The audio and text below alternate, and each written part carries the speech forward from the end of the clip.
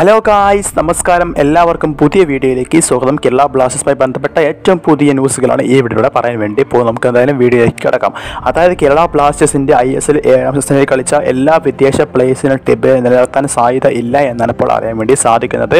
അതായത് മാർക്കസ് മർഗു തന്നെയാണ് ഈ കാര്യം അറിയിച്ചിരിക്കുന്നത്. ബ്ലാസ്റ്റേഴ്സിന്റെ ഒരു ആരാധകൻ ചോദിച്ചതനുസരിച്ചതാണ് ചോദ്യം ഈ ഒരു ഉത്തരം വന്നിരിക്കുന്നത്. ആരാധകൻ ചോദിച്ച കാര്യം ഇങ്ങനെയാണ്. കേരള ബ്ലാസ്റ്റേഴ്സ് ഏതെങ്കിലും വിദേശ പ്ലെയറിനെ അടുത്ത കൊല്ലത്തേക്ക് നിലനിർത്താൻ സാധ്യതയുണ്ടോ എന്നാണ് ഒരു ആരാധകൻ ചോദിച്ചത്.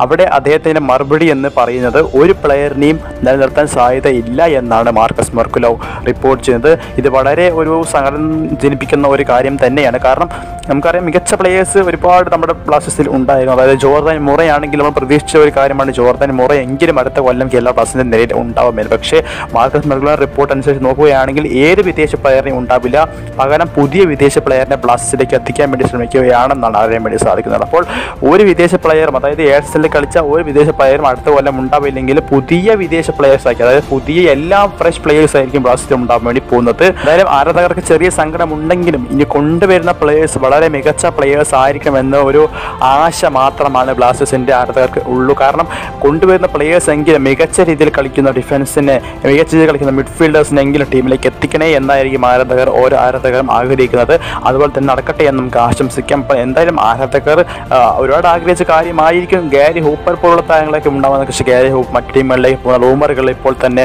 സോഷ്യൽ മീഡിയയിൽ പരന്നുകൊണ്ടിരിക്കുന്നുണ്ട്.